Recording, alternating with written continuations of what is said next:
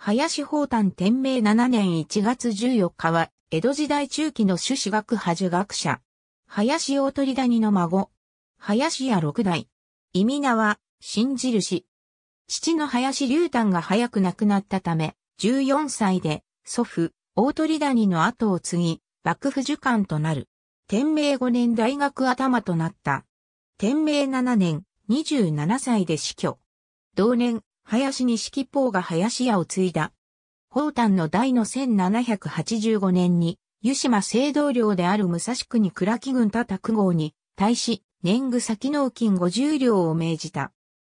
多く号では、近隣の金井村から借金をして納め、翌年の年貢米で金井村に返済する予定だったが、翌年が共作だったため、返済期限を延ばしてもらったところ、翌々年、領主の林家が先納金の生産を無視して、年貢の全納を命じたことから、金井村への返却が不可能となったため、金井村は幕府表情所に叩く号を訴えるとともに、叩く号と協議して臨家への年貢米送付を阻止した。